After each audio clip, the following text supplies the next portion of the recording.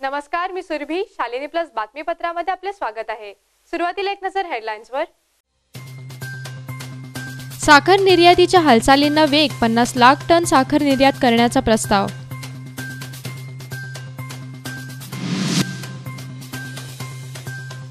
वर्ध्यात गावठी दारूचा कहर दोघांचा मृत्यू.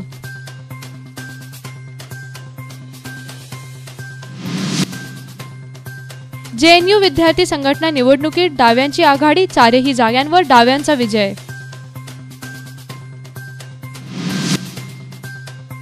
करमाळ्यात ऊस पिकावर हुमणीचा प्रादुर्भाव शेतकरी अडचणीत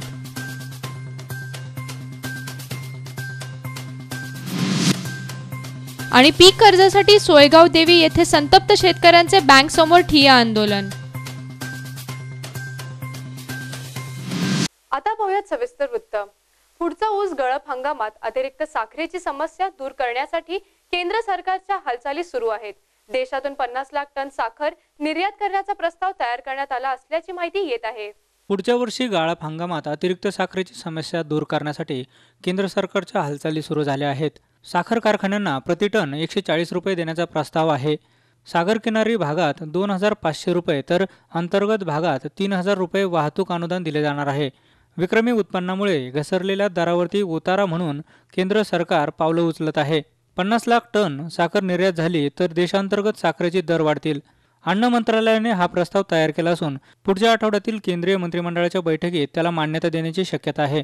भारत सरकारने असं अनुदान दिल्यास आंतरराष्ट्रीय पातळीवरती नवा पेच उभा राहू शकतो. ब्राझील आणि ऑस्ट्रेलिया हे देश भारत सरकारच्या अनुदानाविरोधात जागतिक बाजार संघटनेकडे तक्रार करण्याची शक्यता आहे. देशात साखरेचे विक्रमी उत्पादन झाले आहेत. मागच्या हंगामातील शंभर लाख टन आणि पुढे तयार होणारी साखर असे एकूण चारशे पन्नास टन साखरेचे उत्पन्न होईल. दर कोसळ्यामुळे शेतकऱ्यांना भाव देणे शक्य नसल्याने केंद्र सरकार वेगवेगळ्या उपाययोजना करत आहे. त्याचाच एक भाग म्हणून पन्नास लाख टन साखरेच्या निर्यातीसाठी अनुदान देण्याचा प्रस्ताव पुढे आला आहे. Bureau report Shalini plus Mumbai. दारूबंदी असलेल्या जिल्ह्यात दारूचा कहर पाहायला मिळाला. गावठी विषारी दारू पिल्याने वर्धा जिल्ह्यात दोघांचा मृत्यू झाला आहे. त्यामुळे पोलीस प्रशासनाच्या कार्यपद्धतीवर प्रश्नचिन्ह निर्माण होत आहे. दारूबंदी असलेल्या जिल्ह्यात विषारी दारूचा कहर पाहायला मिळाला. गावठी विषारी दारू पिल्याने दोघांचा मृत्यू झाल्याची घटना समोर आली आहे. सुनील नंदलाल पाठक असे मृतकाचे नाव आहे. वर्धा जिल्ह्यात दारूबंदी असताना अशा प्रकारची घटना घडल्याने पोलीस प्रशासनाच्या कार्यक्षमतेवरती प्रश्नचिन्ह उपस्थित राहिले आहे दरम्यान शेलूच्या ग्रामीण रुग्णालयात रात्री आणखी पाच लोकांना उपचारासाठी दाखल करण्यात आलं. त्यातील एकाचा मृत्यू झाला आहे. काल रात्री ग्रामीण रुग्णालय सेलू अंतर्गत कामठी सुरगाव इथून एक तीन चार पेशंट आले होते. त्यामध्ये एक सुनील नंदलाल पाठक चाळीस वर्षाचा हा इसम. जेएनयू विद्यार्थी संघटना निवडणुकीत अध्यक्ष उपाध्यक्ष सचिव आणि सहसचिव या चारही जागा बळकावत डाव्यांनी अखिल भारतीय विद्यार्थी परिषदेच्या उमेदवारांना पराभवाची धूळ चालली आहे. पाहुयात याच संदर्भातील ही बातमी. जेएनयूमध्ये विद्यार्थी संघटनेच्या निवडणुकीत चारही जागांवर डाव्यांनी वर्चस्व मिळवलं आहे. अध्यक्ष उपाध्यक्ष सचिव आणि सहसचिव या चारही जागा बळकावत डाव्यांनी अखिल भारतीय विद्यार्थी परिषदेच्या उमेदवारांना पराभवाची धूळ चारली आहे. जे एन यू विद्यार्थी संघटनेच्या निवडणुकीत एन साई बालाजी यांची अध्यक्षपदी निवड झाली तर उपाध्यक्षपदी सारिका चौधरी यांची वर्णी लागली. एजाज अहमद यांना संघटनेचे सचिवपद मिळाले तर अमुधा जयदीप यांनी विजयाची नोंद केली. ए आय एस एफ आणि डी एस एफ या चारही डाव्या संघटनांनी मिळून आपले उमेदवार दिले होते. अखिल भारतीय विद्यार्थी परिषदेचे चारही उमेदवार दुसऱ्या क्रमांकावरती आहेत. जवळपास पाच हजार जवळपास पाच हजार विद्यार्थ्यांनी मतदान केल्याची माहिती आहे. गेल्या सहा वर्षातील हे उच्चांक मतदान आहे. Bureau report Shalini plus Mumbai.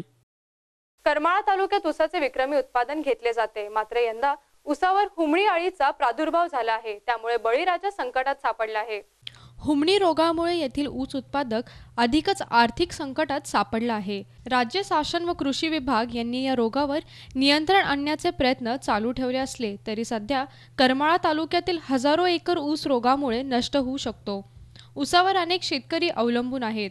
वर्षभर तळ हातावरील फोडाप्रमाणे जपलेले हे पीक नैसर्गिक संकटामुळे हातातून जाण्याची वेळ आली आहे. सध्या तालुक्यात अनेक ठिकाणी हुमणीमुळे पीक वाया गेली आहेत. याचे पंचनामे होऊन शेतकऱ्यांना नुकसान भरपाई मिळावी अशी मागणी शेतकरी वर्गातून होत आहे. अशा ठिकाणी संबंधित विभागाने गांभीर्याने दखल घेऊन पंचनामे करून अहवाल तयार करावे अशा सूचना आमदार नारायण पाटील यांनी कृषी व महसूल विभागाला दिल्या आहेत. उत्पादक शेतकरी हा अडचणीत सापडलेला आहे. येथील तालुक्यातील ऊस पिकाला हुमणीने निकृष्ट केले आहे. तर याबाबत जिल्हा कृषी अधिकारी साहेबांनी जिल्ह्यातील प्रत्येक तालुका कृषी अधिकाऱ्यांना चार नऊ दोन हजार अठरा रोजी लेटर काढलेत की जे हुमणीग्रस्त पिकं आहेत त्यांचे तात्काळ पंचनामे करा. परंतु आम्ही तालुका कृषी अधिकारी ऑफिसशी संपर्क केला. आमच्या सज्यातील कृषी सहाय्यकांना याबद्दल बोललो. परंतु कृषी सहाय्यक मासे बोलतात आम्हाला वरिष्ठांचे आदेश नाहीत. आम्ही पंचनामे करू शकत नाही. आमचं फक्त एवढं काम आहे ते के ह्या क्षेत्राचं नुकसान झालं किती? पंचनामे करायचे हे तलाट्याचं काम आहे. त्याच्यावर आम्ही फक्त नुकसान भर दाखवू शकतो. तलाठी माश्यांना या संदर्भात आम्ही बोललो. तलाठी माशे बोलतात आम्हाला वरिष्ठांचे आदेश नाहीत. परत आम्ही जिल्हा कृषी अधिकारी साहेबांना याबद्दल आमचं गारण सांगितलं. जिल्हा कृषी अधिकारी साहेब बोलले मी चार तारखेला पंचनाम्याबद्दल लेटर काढले आहेत. परंतु या जी खालची ग्रामीण भागातली यंत्रणा थंडगार आहे आणि हा कृषी खात्याचा खेळ हा फक्त कागदावरच चालतो. आज कृषी सहाय्यक म्हणल्यानंतर शेतकऱ्याच्या बांधावर जाऊन पाहणी करणं हे काळाची गरज आहे. परंतु हे अधिकारी लोक कृषी सहाय्यक असो अथवा मंडल अधिकारी असो फक्त कागदावर सगळं घोडं नाचवतात आणि शासन दरबारी रिपोर्ट पाठवतात. तर ही चुकीची माहिती सर्व देतात. यांना कुठं कुणाचं क्षेत्र आहे हे अजून माहीत नाही. आणि गावातील एक पंच्याण्णव टक्के लोकांना कृषी सहाय्यक हा कोण आहे? आणि त्याचं काय काम असतं हे अद्याप माहीत नाही. तर अशा अधिकाऱ्यांवर महाराष्ट्र शासनाने आळा घातला पाहिजे. त्यांना काम करण्यास सांगितलं आहे पाहिजे. तुकाराम मुंडे साहेबांनी कलेक्टर साहेबांनी सांगितलं होतं ज्या सजामध्ये तुम्ही राहताय काम करताय त्या सजामध्ये राहा. परंतु हे मासे आमुष्या पुनवला कधीतरी येतात. आणि गावातील चार टकुची हाताशी धरतात आणि निघून जातात. शालिनी प्लससाठी कॅमेरामॅन संतोष मोटेसह शीतलकुमार मोटे करमाळा. पीक कर्जासाठी सोयगाव देवी येथील संतप्त शेतकऱ्यांनी महाराष्ट्र बँक समोर ठिय्या आंदोलन केले. दरम्यान शेतकऱ्यांनी बँकेला टाळे ठोकण्याचा प्रयत्न केला. भोकरदन शहरातील बँक ऑफ महाराष्ट्र शाखेत मागील बऱ्याच दिवसांपासून सोयगाव देवी येथील शेतकऱ्यांनी पीक कर्जासाठी फाईल्स दाखल केल्या आहेत. परंतु आज या उद्या या असे म्हणून बँकेच्या वतीने सांगण्यात येत होते. दरम्यान शनिवारी दिनांक पंधरा सप्टेंबर रोजी आपले प्रकरणे निकाली काढण्याबाबत सांगण्यात आले होते. परंतु आजही आपल्या गावचा नंबर लागत नाही असे समजल्यानंतर सरपंच श्रीमंत राऊत यांच्यासह शेतकरी संतप्त झाले व त्यांनी आरडाओरडा करत बँक समोरच ठिया दिला. तसेच बँकेचे गेट लावत टाळा ठोकण्याचाही प्रयत्न केला. दरम्यान शाखा व्यवस्थापक श्री व्ही व्ही सूर्यवंशी यांनी शेतकऱ्यांची भेट घेऊन पीक कर्जाबाबत असलेल्या अडचणींवर चर्चा करून आगामी आठ ते दहा दिवसात प्रकरणे निकाली काढण्यात येईल व पहिल्या टप्प्यातील जवळपास पंचवीस प्रकरणे आजच निकाली काढण्यात आली. आणि आपल्याकडे जे आहे ते दो- भोकरदन शाखेमध्ये औरंगाबाद आणि जालना या दोन जिल्ह्यांपैकी सगळ्यात जास्त कर्ज प्रकरणाचा जो विचार झालेला आहे तो आपल्या शाखेत झालेला आहे दोन्ही जिल्ह्यातला त्या हिशोबाने ह्या वर्षी आपल्याला जे आहे साडेचार हजार सॉरी कर्ज माफ झालेल्यांना पण कर्ज द्यायचं आहे. आणि नवीन यांना पण द्यायचे जे आमच्या कार्यक्षेत्रातलं आहे त्या लोकांना आम्ही निश्चितपणे कर्ज देणार आहोतच. आणि त्यांना सेवा पुरवण्याचे आम्ही आटोकाट प्रयत्न करतो सोयगाव देवी संदर्भात. सोयगाव देवी संदर्भात आता तो जो विषय होता की तुमच्या त्या सरपंचांनी वगैरे थोडासा गोंधळ घातला किंवा आमच्या लोकांचा काही विषय झालेला नाही आहे परंतु त्यांनाही आम्ही कन्व्हिन्स केलं की बाबा येत्या दहा पंधरा दिवसामध्ये ह्या संपूर्ण जेवढ्या काही फायली आपल्या झालेल्या आहेत त्या आपण मार्गी लावण्याचा प्रयत्न करतो शालिनी प्लससाठी कमल किशोर जोगदंडे भोकरदन. वर्धा जिल्ह्यातील पौराणिक गिरड येथील फरीद बाबा दर्गा आणि हजरत बाबा शेख फरीद शकबाहुली दर्गा येथे उरुस महोत्सव मोठ्या उत्साहात संपन्न झाला. पाहुयात ही बातमी. या सोहळ्याकरता महाराष्ट्र आणि बाहेरील प्रांतातील भाविकांनी दोन दिवसापासून गर्दी केलेली पाहायला मिळाली. या उरुसानिमित्त दरवर्षीच्या परंपरेनुसार शकबाहुली दर्ग्यावरून शाही संदल काढण्यात आला. हा शाही संदल गिरडगावचे भ्रमणवरून सायंकाळी नऊ वाजता दर्गाह टेकडीवरती पोहोचताच त्याचे भव्य स्वागत करण्यात आले. भाविकांकरता दर्गाह टेकडीवरती सायंकाळी सहा वाजता दर्गाह शाही लंगर म्हणजेच महाप्रसादाचे आयोजन करण्यात आले होते. रात्री नऊ वाजता टेकडीवरती शमाये मैफिले या कार्यक्रमाचं आयोजन करण्यात आलं होतं. रात्री चार वाजता गुलसचा कार्यक्रम करण्यात आला. तर सकाळी सहा वाजता ध्वजारोहण फातिहा खानी परचम कुसाई तसेच प्रसाद वितरण करण्यात आले. या उरुसाकरिता महाराष्ट्रातील तसेच अनेक प्रांतातील बाबा फरीद यांचे भक्तगण आले होते. यावेळी बाबा फरीद दर्गाह कमिटी आणि दर्गाह हसरत बाबा शेख फरीद कमिटीच्या वतीने पुण्यतिथी उत्साहाकरिता बाहेरून आलेल्या भाविकांकरता योग्य व्यवस्था करण्यात आली. या उत्सवात माजी आमदार राजू तिमांडे प्रहार संघटनेचे जिल्हाध्यक्ष देवा धोटे आदी उपस्थित होते. विलास नवघरे शालिनी प्लस वर्धा. मुक्ताईनगर तालुक्यातील डोलारखेडा फाट्याजवळ झालेल्या अपघातात एका दाम्पत्याचा मृत्यू झाल्याची घटना समोर आली आहे. भरधाव कंटेनरने त्यांच्या दुचाकीला धडक दिल्याने हा अपघात झाला. भरधाव कंटेनरने दुचाकीला धडक दिल्याने रावेर तालुक्यातील सिंगपूर येथील दाम्पत्य ठार झाल्याची घटना रविवारी सकाळी सात वाजण्याच्या सुमारास डोलारा खेडा फाट्याजवळील पूर्नाड दुही या दरम्यान घडली. या अपघातात किरण मोरे संध्या मोरे यांचा जागीच मृत्यू झाला.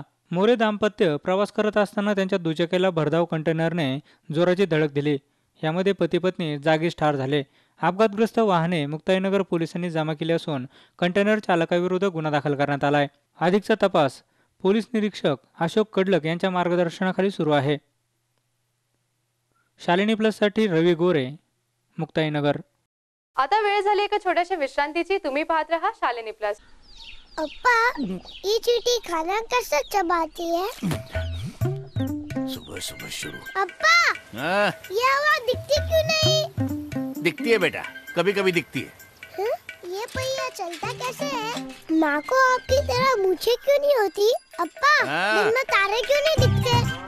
अप्पा अप्पा बोलो ना। आके बोलता हूँ पक्का। लो घर जा। अप्पा अप्पा ये पेड़ की इधर सुबह शाम सवाल पे सवाल। अरे इसमें इतनी जिज्ञासा है तो इसे स्कूल क्यों नहीं भेजते? गरीब आदमी है साहब कहाँ से पढ़ाएगा? इसे सरकारी स्कूल भेजो ना। अब तो शिक्षा है हर बच्चे का अधिकार। अप्पा अब तो मेरा पढ़ना पक्का। हाँ पक्का।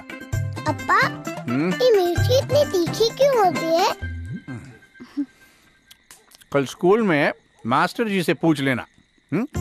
सांभर चाहिए तो शिक्षा है अब हर बच्चे का अधिकार। अब पढ़ना पक्का। विश्रांतीनंतर पुन्हा एकदा स्वागत।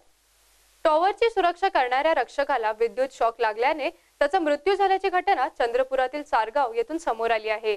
प्रमोद पांडुरंग ओमकार असे घटनेत मृत्यू झालेल्या सुरक्षा रक्षकाचे नाव आहे.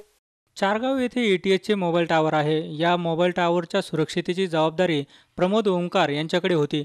तीन वर्षापूर्वी तो या ठिकाणी कार्यरत होता. आपली पत्नी मुलगा आणि वडिलांसह चारगाव येथे तो राहत होता. मोबाईल टावर नजीकच्या ट्रान्सफॉर्मरवरती वीज पुरवठा सुरळीत करण्याकरता गेला असता त्याला शॉक लागला. यामध्ये त्याचा जागीच मृत्यू झाला. ग्रामस्थांना माहिती मिळताच ग्रामस्थांनी त्या ठिकाणी मोठी गर्दी केली. शेगाव पोलिसांना माहिती मिळताच पोलीस घटनास्थळी दाखल झाले. त्याच्या मृत्यूला टॉवर कंपनी जबाबदार असल्याने नुकसान भरपाई देण्यात यावी अन्यथा मृतदेह उचलू देणार नाही असा पवित्रा नातेवाईकांनी घेतला होता. तत्पूर्वी आमदार बाळू धानोरकर यांच्या वतीने अंत्यविधीसाठी नातेवाईकांना पाच हजारांची मदत करण्यात आली. यानंतर कंपनीचे अधिकारी चंद्रशेखर तावडे आणि असलम कुरेशी वरोरा येथे पोहोचले. त्यांनी चारगाव येथे तंटामुक्ती समितीचे अध्यक्ष धनराज ननावरे पोलीस पाटील मंगेश पालते सरपंच तथा बाजार समितीचे उपसभापती राजू चिटके आदींनी चर्चा केली. आर्थिक मदत देण्याचे जाहीर केल्यानंतर मृतदेहाचे शवविच्छेदन करण्यात आले. आपण हे आश्वासन देतोय की त्यांच्या मदतीला जे काही त्यांचे पी पी एफ इन्शुरन्स वगैरेचे जे काही पैसे त्यांना मिळायचे आहे ते तातडीने मिळावे. त्याच्यासाठी कंपनी बाध्य आहे. आणि त्याच्या व्यतिरिक्त जसे कांगारू कंपनीने त्यांना पन्नास हजाराची एक तातडीची मदत केली आहे. तशीच ए टी सीसुद्धा त्यांच्यासाठी पन्नास हजाराची मदत देत आहे. ए टी सी कंपनीकडे या एम्प्लॉईची अद्ययावत आणि पूर्णत्व माहिती आहे का? हो ही वर्किंग कंपनी आहे आणि जे काही ए टी सी आहे ए टी सी सबलीजमध्ये सेक्युरिटीला देत असतात. तर आपल्याला त्याची दखल घेता येईल आणि कांगारू कंपनीला सांगता येईल की ते सगळे त्यांना पुरावे द्यावे. आणि ते सगळे मुलं मिळून जातात. जर कोणी मागणी करत असेल तर त्यांना मिळून जाते. कांगारू कं कंपनीचा निष्काळजीपणामुळे हा दुर्दैवी अपघात झाला असं म्हणायचं हे तर आपल्याला इन्व्हेस्टिगेशन नंतर कळेल की काय नेमकं झालं होतं. कारण आपल्याला पूर्ण माहिती अशी मिळालेली नाही अमृत दंडवते शालिनी प्लस चंद्रपूर. लातूर जिल्ह्यातील औसा येथील वीरशैव गणेश मंडळाने यंदाही पर्यावरण पूरक उत्सवाची परंपरा जपली आहे. एकोणीसशे पस्तीसपासून सुरू असलेल्या या मंडळाचे सर्व स्तरातून कौतुक होत आहे. लोकमान्य टिळकांनी सुरू केलेल्या ब्रिटिशपूर्व काळापासून अर्थात एकोणीसशे पस्तीसपासून लातूर जिल्ह्यातील औसा येथील वीरशैव गणेश मंडळाने आजतागायत पर्यावरणपूरक गणेशोत्सव साजरा करत आहे. निजाम राजवटीत हैदराबाद येथून गणेश मंडळाचा परवाना काढून स्थापन झालेले या गणेश मंडळ आज चौऱ्याऐंशीवा गणेशोत्सव साजरा करत आहे. लातूर जिल्ह्यातील औसा येथील वीरशैव गणेश मंडळाची सुरुवात तत्कालीन स्वर्गीय गुरुदप्पा कारंजे शिवाप्पा हलकुदे रुद्राप्पा उडगे शरणप्पा मिटकरी आणि अन्य सहकारी यांनी हैदराबादवरून निजामाकडून गणेशोत्सव साजरा करण्याचा परवाना काढला. तर मुंबई येथून दोनशे ग्रॅमचे चांदीच्या गणेशाची मूर्ती तयार केली. त्याच सन दोन हजार पंधरा साली चांदीचे वर्क बसवण्यात आलं आहे. लातूर जिल्ह्यात या गणपतीला मानाचं स्थान आहे. सध्या पर्यावरणातील समस्या देशात आणि जगात वाढत असल्याने शासन सामाजिक संस्था आणि युवक मंडळे यांना इको फ्रेंडली गणेशोत्सव साजरा करण्याचे आवाहन करत आहे. तर वीरशैव्य गणेश मंडळ त्र्याऐंशी वर्षापासून इको फ्रेंडली पर्यावरणपूरक गणेशोत्सव साजरा करण्यास भर देत आहे. केळी किंवा नारळाच्या पानाचा वापर करून सजावट केली जाते. बेटी बचाव बेटी पढाव पाणी वाचवा वृक्ष लागवड रक्तदान आदी सामाजिक संदेश मंडळातर्फे देण्यात येतात. आज सामाजिक शिक्षण आणि पर्यावरण रक्षण करणे काळाची गरज बनली आहे. औषाच्या वीरशैव गणेश मंडळ सामाजिक बांधिलकी जपत पर्यावरण रक्षणाचे कार्य करत आहे. त्यांच्या या कार्याला शालिनी प्लसचा सलाम. स्थापना एकोणीसशे पस्तीसमध्ये स्थापना झालेली आहे. वीरशैव गणेश मंडळाची. यांचा गणपती जो आहे आमचा तो चंदनाचा गणपती आहे. याला परवानगी जी आणत होतो हैदराबाद निजाम सिटीमध्ये त्या काळात तिथून परवानगी आणलेली आहे. आणि हा जो गणपती आहे हा चंदनाचा आहे हा मुंबईहून खरेदी केलेला आहे. हे जुन्या लोकांनी आमच्या लोकांनी बुजुर्ग लोकांनी हा गणपती तिथून आणलेला आहे. आणि मानाचा गणपती आहे औषधामध्ये आणि दोनशे ग्रामचा गणपती आहे याला भयंकर मान आहे किंमत आहे. त्याला दररोज भक्तगण येतात. हा चौकात प मिरवणुकीला पहिल्यांदा हा सगळ्याच्या पुढे असतो. हा निघाला तरच बाकीचे निघतात. आणि हा गणपती शांततेनं सगळं हे करतो. सगळे लोकांच्या मनोकामना पूर्ण करतो अशा पद्धतीच्या ह्या गणपतीचे वैशिष्ट्य आहे. वैभव बालकुंदे शालिनी प्लस लातूर. बेकायदा गर्भपात केल्याचा धक्कादायक प्रकार सांगलीमध्ये पुन्हा उघडकीस आला आहे. शहरातील चौगुले हॉस्पिटलमध्ये सुमारे सहा बेकायदा गर्भपात करण्यात आल्याची माहिती आरोग्य विभाग आणि पोलिसांनी केलेल्या छापेमारीत समोर आली आहे. सांगली शहरात बेकायदेशीररित्या गर्भपात सुरू असल्याचा धक्कादायक प्रकार उघडकीस आला आहे. सांगली महापालिकेच्या आरोग्य विभाग आणि पोलिसांनी मिळून संयुक्तरित्या चौगुले हॉस्पिटलवरती छापा टाकत हा प्रकार उजेडात आणला. गेल्या एक वर्षापासून विनापरवाना गर्भपात करण्यात येत असल्याची माहिती समोर आली आहे. संशयास्पद कागदपत्रे आणि औषधे आढळून आले आहेत. याचबरोबर या छाप्यामध्ये अनेक आक्षेपार्ह कागदपत्रे आणि दारूच्या बाटल्याही सापडल्या आहेत. तसेच हॉस्पिटलच्या कागदपत्रांची तपासणी केली असता या ठिकाणी सहा गर्भपात केल्याची समोर आले आहे. आणखीन किती बेकायदा गर्भपात करण्यात आले आहेत याचा तपास सुरू आहे. या प्रकरणी डॉक्टरांसह तिघा जणांवरती गुन्हे दाखल करण्यात आले आहेत. तर तपासणी सुरू झाल्यानंतर हॉस्पिटलकडून काही औषधपत्रे जाळण्यात आली आहेत. यानंतर पोलिसांनी या ठिकाणी औषधे आणि रोख रक्कम जप्त केली. तर या हॉस्पिटलमध्ये आणखीन बेकायदेशीर गर्भपात केल्याची शक्यता वर्तवण्यात येत असून पोलीस पुढील तपास करत आहेत. गेल्या वर्षी म्हैसाळ येथील गर्भपातामुळे संपूर्ण महाराष्ट्र आणि कर्नाटक हादरून गेला होता आणि पुन्हा एकदा यावर्षी सांगली येथे बेकायदेशीर गर्भपाताचा प्रकार उघडकीस आल्याने खळबळ उडाली आहे. भगवान देवकर शालिनी प्लस सांगली. बारामतीत गेल्या अठरा वर्षापूर्वी सुरू झालेल्या बारामती गणेश फेस्टिवलचे उद्घाटन राज्याचे माजी उपमुख्यमंत्री अजित पवार यांनी केले. यावेळी त्यांनी सहकुटुंब या कार्यक्रमाला हजेरी लावली. बारामतीतील कलाकारांना त्यांच्या कलागुणांना वाव मिळावा या हेतूने दरवर्षी बारामती फेस्टिवलचं आयोजन करण्यात येतं. यंदाही मोठ्या थाटामाटात बारामती फेस्टिवलचं आयोजन करण्यात आलंय. बारामती शहरातील माजी उपमुख्यमंत्री अजित पवार यांच्या पुढाकारातून अठरा वर्षापूर्वी सुरू झालेल्या बारामती गणेश फेस्टिवलचं आज उद्घाटन झालं. अजित पवार पत्नी सुनेत्रा पवार मुले पार्थ आणि जय पवार यांच्या उपस्थितीत या फेस्टिवलचं उद्घाटन करण्यात आलं.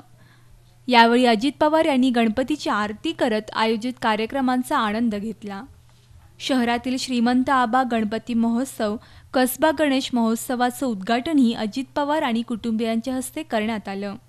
शालिनी प्लससाठी प्रतिनिधी नवनाथ बोरकर बारामती.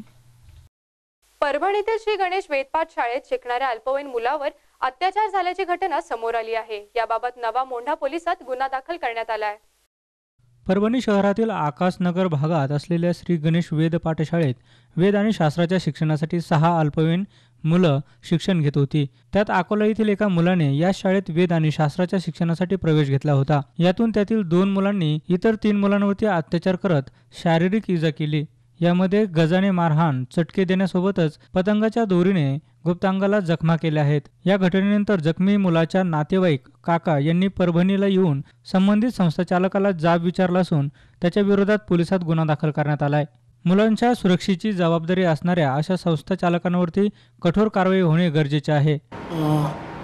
नवा पोलीस स्टेशन परभणी येथे काल गुन्हा रजिस्टर क्रमांक दोनशे चौऱ्याहत्तर प्रमाणे गुन्हा दाखल झालेला आहे. याच्यामध्ये गणेश वेद पाठशाळा आहे ती परभणीमध्ये आहे. तेथील तेथे तिथे सहा मुले वेद पठणाकरिता होती. ही जी वेद पाठशाळा आहे ती अनिंदूकृत आहे.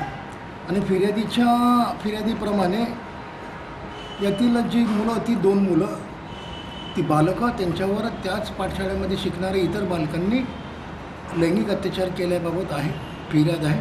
आणि ह्या फिर्यादीला आय पी सी तीनशे सात तीनशे तेवीस तीनशे चोवीस तीनशे सव्वीस पाचशे सात चौतीस आणि रॅगिंग ॲक्ट चार आणि सात आणि पुन्हा अं, पॉस्को ॲक्ट आठ बारा सोळा सतरा एकवीस तेवीस आणि ज्युएनएल ॲक्टप्रमाणे यांच्यावर फिर्याद दाखल केलेली आहे. यातील जो स विवेक पाठशाळा चालक आहेत यांना ताब्यात घेतलेले आहे. आणि जे इतर दोन विधी संघर्षग्रस्त बालक आहेत ते सुद्धा ताब्यात आहे.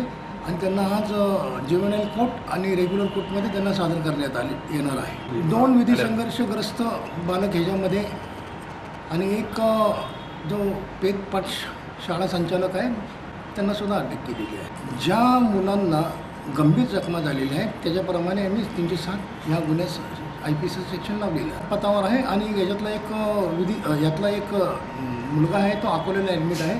हा तिथेसुद्धा तपासाकरिता आमची टीम रवाना झालेली आहे आणि यातील आरोपी आणि विधी संघर्षग्रस्त बालक हे ताब्यात आहे. त्यांच्यावर आज न्यायालयामध्ये कारवाई करण्यासाठी त्यांना सादर करण्यात येणार आहे. अजूनही तपासावर आहे. जर याचा वाढ आरोपी तपासामध्ये जर आरोपी वाढ होत असेल तर निश्चित आम्ही ते करू. आणि याचा सर्व शास्त्रोक्त तपास पुन्हा याच्यामध्ये प्रत्यक्षदर्शी साक्षीदार सगळ्या दृष्टिकोनातून याचा उत्कृष्टपणे तपास केला जाईल आणि तसा तपास आता सुरू आहे. रवींद्र देशमुख शालिनी प्लस परभणी. पाणी बचतीचा संदेश देत पैठण आणि परिसरात गौरी गणपतीचे स्वागत करण्यात आले. यावेळी करण्यात आलेल्या आरास आणि सजावट पाहण्यासाठी महिलांनी गर्दी केली होती. लक्ष्मीच्या रूपाने आलेल्या या माहेरवाशिनीच्या स्वागताची तयारी महिला आणि तरुणी गेल्या अनेक दिवसापासून करत आहेत. लाडू करंजा चकल्या अनारसे आदी पंचपक्वान्न. त्याचबरोबर गौरीच्या सजावटीसाठी साड्या दागदागिने आदी गोष्टींची तयारी करण्यात आली. या गौरींना भरभक्कमपणे सजवण्यात आलंय. घरातील महिला वर्ग एकत्रित येऊन सजावटीत दंग झाल्या होत्या. कोणी तळ्यावरील खड्यांना गौरीच्या रूपात घरी आणलं आहे तर कुणी पानाफुलांच्या रूपाने गौरीला घरी आणलंय. काही ठिकाणी मुखवटाच्या गौरीही विराजमान झाल्यात. येथील सोनवणे कुटुंबाने यावर्षी सीताहरण देखावा तयार केला होता. तर काहींनी गौराईला केलेल्या आरासाच्या माध्यमातून दुष्काळ मानव निर्मित की निसर्ग निर्मित यावर समाज प्रबोधन करून लेक वाचवा पाणी वाचवा आणि पर्यावरण वाचवा असा समाजाला संदेश दिलाय. शालिनी प्लससाठी प्रतिनिधी सुरेश वायभट पैठण. निवडणूक रणनीतिकार प्रशांत किशोर यांनी नुकताच जेडीयूत प्रवेश केला आहे. त्यांच्या या प्रवेशामुळे काँग्रेस आणि भाजपमध्ये खळबळ माजली आहे. बिहारमध्ये नितीश कुमार यांच्या निवडणुकीतील यशामध्ये मोठा वाटा असलेले निवडणूक रणनीतिकार प्रशांत किशोर यांनी आज जी डी ओमध्ये प्रवेश केला. नितीश कुमार यांच्या उपस्थितीत जी डी ओमध्ये प्रवेश करत प्रशांत किशोर यांनी नव्या राजकीय प्रवासाला सुरुवात केली आहे. त्यामुळे प्रशांत किशोर येत्या काळात जी डी ओमध्ये आणि बिहार सरकारमध्ये महत्त्वाची भूमिका पार पाडताना दिसतील. नितीश कुमार यांनी प्रशांत किशोर यांना नंबर दोनचं पद देण्याचं ठरवलं असल्याचं बोललं जात आहे प्रशांत किशोर पक्ष आणि सरकार यांच्यात मध्यस्थीचं काम करणार आहेत. याशिवाय येत्या काळात प्रशांत किशोर निवडणूक लढण्याच्या तयारीत असल्याची चर्चा आहे. प्रशांत किशोर यांना काँग्रेस आणि भाजप या दोन्ही पक्षाचे निकटवर्तीय मानलं जातं. मात्र त्यांच्या जे डी ओत प्रत्यक्ष राजकीय सुरुवातीमुळे अनेकांना आश्चर्याचा धक्का बसला आहे प्रशांत किशोर यांच्या जे डी ओ प्रवेशानंतर काँग्रेस आणि भाजपमध्ये खळबळ माजली आहे. ब्युरो रिपोर्ट शालिनी प्लस नवी दिल्ली. ग्रँडमास्टर अभिमन्यू पुराणिकला जागतिक ज्युनियर बुद्धिबळ स्पर्धेत रौप्य पदक मिळाले हे रौप्य पदक जिंकून अभिमन्यूने आजवरचा तिसरा मोठं यश मिळवलं आहे. महाराष्ट्राचा ग्रँडमास्टर अभिमन्यू पुराणिकने परदेशात भारताचा तिरंगा डौलाने फडकावला आहे तुर्कीतल्या जागतिक ज्युनियर बुद्धिबळ स्पर्धेत अभिमन्यूने रौप्य पदकावरती आपलं नाव कोरलं आहे इराणच्या मगसुदुलू परहामनने सर्वाधिक साडेनऊ गुणासह सुवर्णपदक पटकवलं. तर अभिमन्यूने अकरा राऊंड्स अखेर साडेआठ गुणांची कमाई करत रौप्यपदकाची कमाई केली. अठरा वर्षाचा अभिमन्यू पुराणिक हा मूळचा पुण्याचा आहे. तो सिम्बायोसिस कॉलेजमध्ये बी कॉमच्या पहिल्या वर्षाला आहे. फिडे ट्रेनिंग जयंत गोखले हे अभिमन्यूचे प्रशिक्षक आहेत.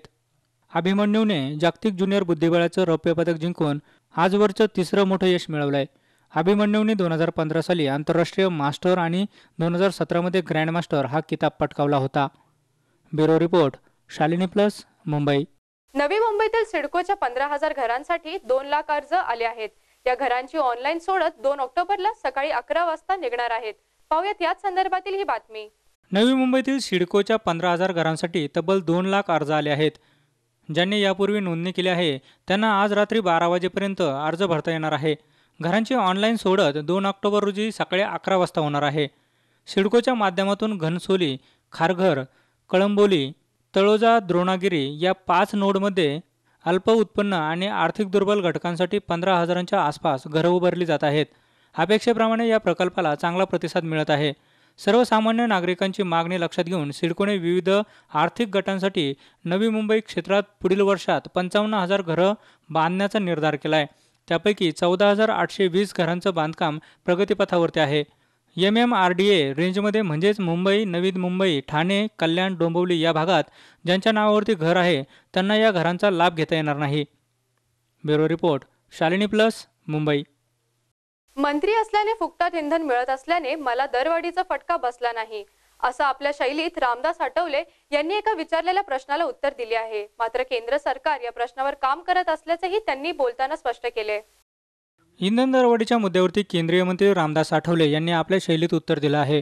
मंत्री असल्यामुळे मला पेट्रोल डिझेल फोकटात मिळतं. मंत्रीपद गेल्यावरती इंधन दरवाढीचा फटका बसेल असं रामदास आठवले म्हणाले. मंत्री असल्यामुळे मला इंधन भत्ता मिळतो. त्यामुळे इंधन दरवाढीची झळ मला बसलेली नाही. मात्र मंत्रीपद गेल्यावर मला पेट्रोल डिझेलच्या वाढलेल्या दराचा नक्कीच फटका बसेल असं आठवले म्हणाले. रिपब्लिकन रिपब्लिकन पार्टी ऑफ इंडियाचे अध्यक्ष रामदास आठवले केंद्रात सामाजिक न्याय विभागाचे मंत्रिपद भूषवत आहेत. जयपूरमध्ये आयोजित पत्रकार परिषदेत रामदास आठवले बोलत होते. इंधन दरवाढीचा फटका तुम्हाला वैयक्तिक आयुष्यात बसला आहे का? असा प्रश्न आठवलेंना विचारला असता त्यांनी हे उत्तर दिलंय. इंधन दरवाढीचा सर्वसामान्यांना त्रास होतो हे मी समजू शकतो.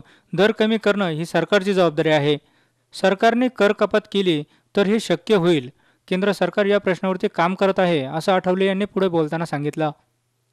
Bureau report Shalini plus Mumbai. शेवटी पुन्हा एक नजर हेडलाईन्सवर साखर निर्यातीच्या हालचालींना वेग पन्नास लाख टन साखर निर्यात करण्याचा प्रस्ताव.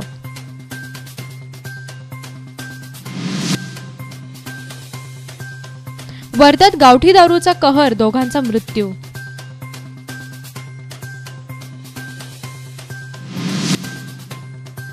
जेएनयू विद्यार्थी संघटना निवडणुकीत डाव्यांची आघाडी चारही जागांवर डाव्यांचा विजय.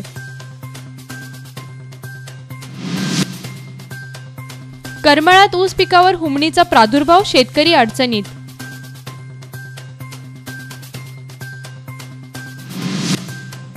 आणि पीक कर्जासाठी सोयगाव देवी येथे संतप्त शेतकऱ्यांचे बँक समोर ठिय्या आंदोलन. याचबरोबर बातमीपत्रात वेळ झाली इथेच थांबण्याची. ताज्या अपडेट्स आणि घडामोडींसाठी पाहत रहा शालिनी प्लस. प्रतिबिंब वास्तवतेचं. नमस्कार.